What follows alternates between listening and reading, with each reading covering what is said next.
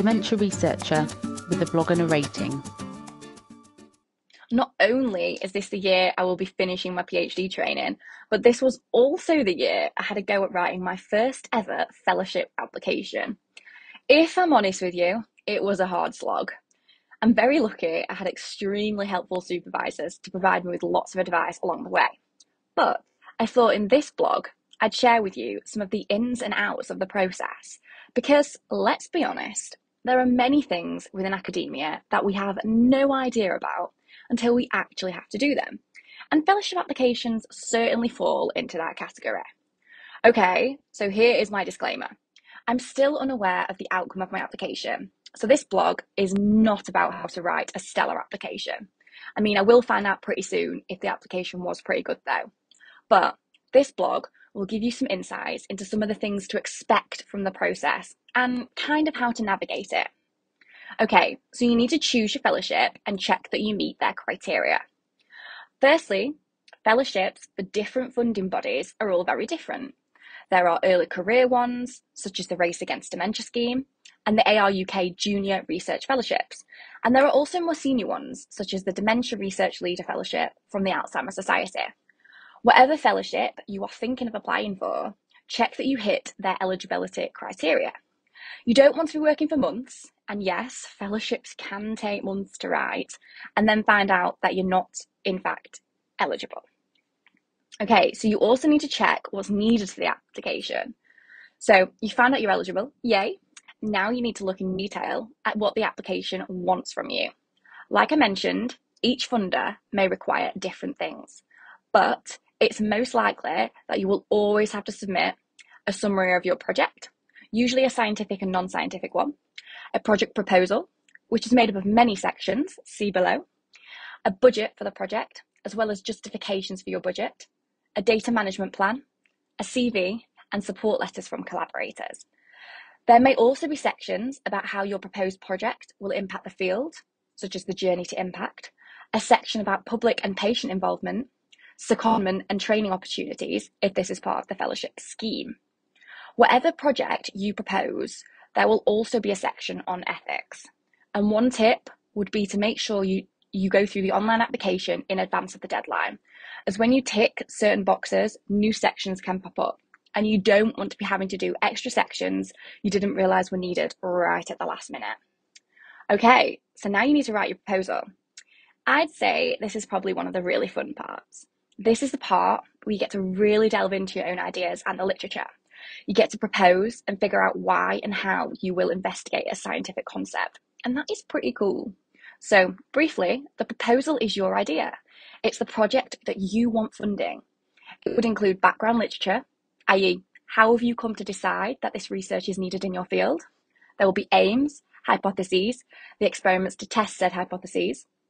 You'll need to describe the techniques you'll use, the N of your experiments, justify your N with sample sizes. You'll also need to budget for everything you've proposed you will do. See the next section for more details. Writing the proposal can definitely take time, especially when it's the first one you write.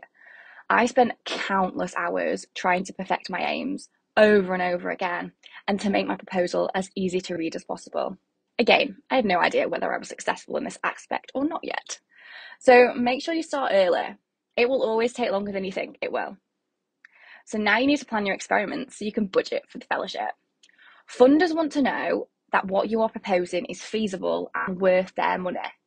In order to do this, you have to plan your experiments and budget for everything you say you want to do, including budgeting for things like professional development courses and conferences. You'll also need to budget for your own salary and national insurance and pension contributions in some applications. Budgeting may look different at each university, as each university has their own systems in place for you to do this.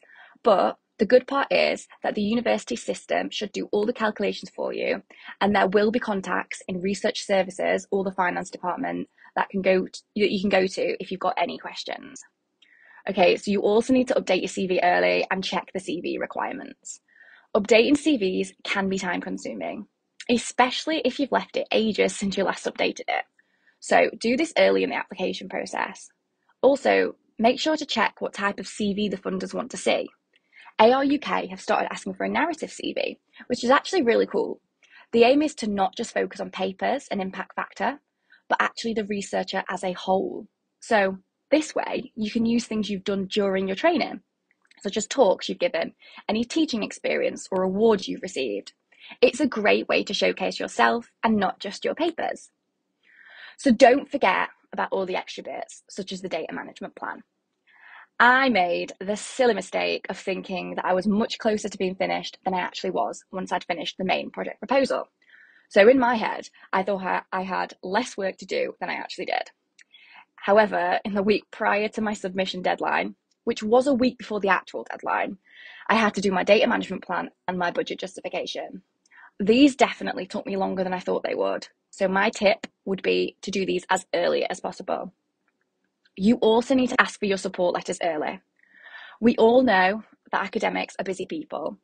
Whoever you ask for a support letter, whether this be your PhD or postdoc supervisors or collaborators you've put in the grant, you need to make sure you give them time to write these. It can be helpful to send an email with what is required. You could input the link to the specific scheme you're applying for so they can tailor it to what's needed. In the email, don't forget to put when you need the letter by and make this date at least a couple of weeks before the final submission deadline. The last week of submission can be a little stressful. This is my experience anyway.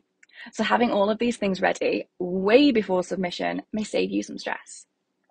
And you also need to check if there are any internal requirements you need to fulfill to submit. This is something you should check very early on. If you don't meet these requirements, your university may not let you submit.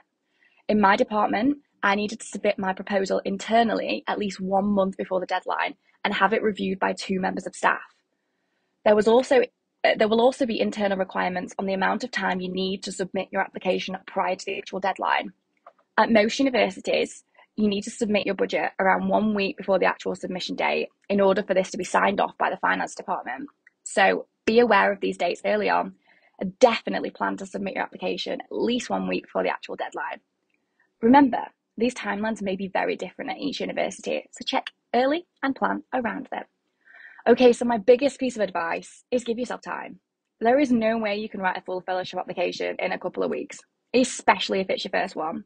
So check the requirements of the scheme, the requirements of your university, and get in touch with your research services team early. They are the experts on applying for fellowships and they will know all about the university deadlines. So if you're considering applying for a fellowship soon, good luck. Thank you for listening. Join the Dementia Research bloggers and share your own views.